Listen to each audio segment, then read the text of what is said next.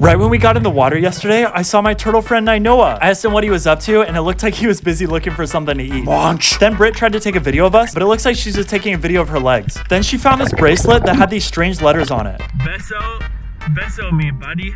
It's Spanish. Our friend Haley was there too, and she wanted to take photos of Brittany. So while they were doing their photo shoot, I went off on a little adventure by myself. First, I found this shell, but I think something was living in it, so I put it back. Then I found this really nice miter, but again, hermit crab. This shell had a hermit crab in it too, and yow!